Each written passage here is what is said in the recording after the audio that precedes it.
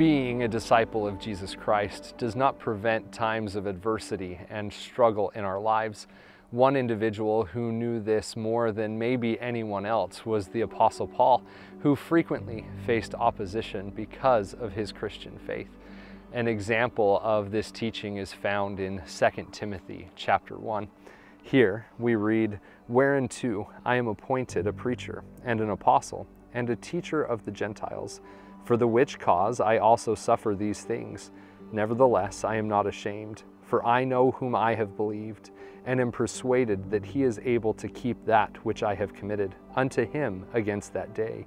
Hold fast the form of sound words, which thou hast heard of me, in faith and love which is in Christ Jesus.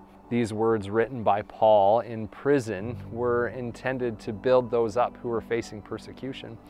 Here in ancient Philippi, Paul was imprisoned on multiple occasions because of his faith and devotion to the Savior Jesus Christ. Thinking about those events anciently and my own experiences today, I feel a motivation to be more faithful in times of discouragement and struggle so that I too can say with Paul that Jesus Christ has helped me through them all.